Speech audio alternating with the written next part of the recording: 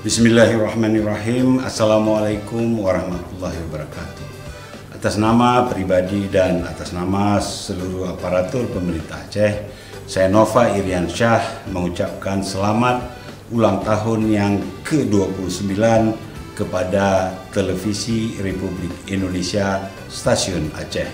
Semoga di usia yang semakin dewasa ini, TVRI Stasiun Aceh bisa terus menghadirkan tayangan yang informatif, yang berkualitas, mendidik, serta mencerahkan segenap lapisan masyarakat Aceh.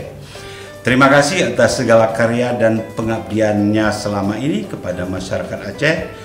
TVRI Aceh terus berkarya dan bangkit dari pandemi untuk Aceh hebat. Wabillahi taufik walhidayah. Wassalamualaikum warahmatullahi wabarakatuh.